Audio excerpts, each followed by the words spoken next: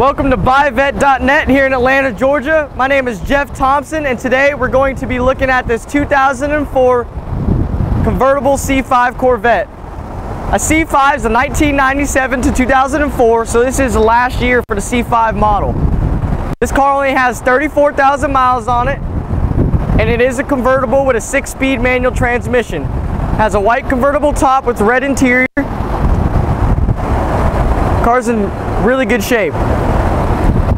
It has heads-up display, selective magnetic ride control, and it does have a Corsa stainless steel performance exhaust, which adds about 5 horsepower to the LS1 engine, which is 350 horsepower stock.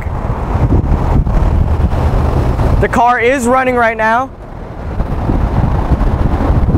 The paint on this car is in good shape.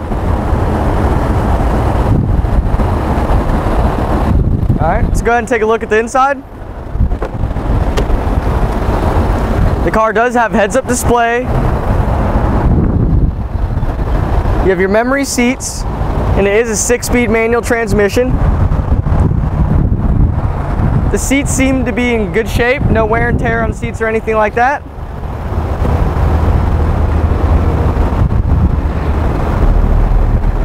And like I said, it does have the selective ride control. You can change it to tour or sport mode.